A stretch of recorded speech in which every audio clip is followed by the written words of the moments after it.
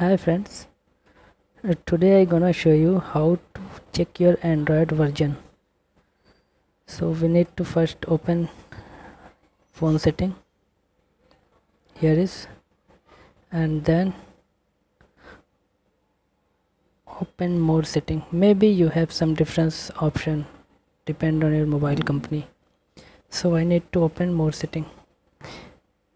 And uh, then uh, here about phone. So here is the phone model number and uh, many things like ram IMEI number and model number. So we need to open here android version 6.0.1 okay and you want to, if you want to see your actual android logo so then click on it three or four times and here it's open my uh, android version is marshmallow you can see here.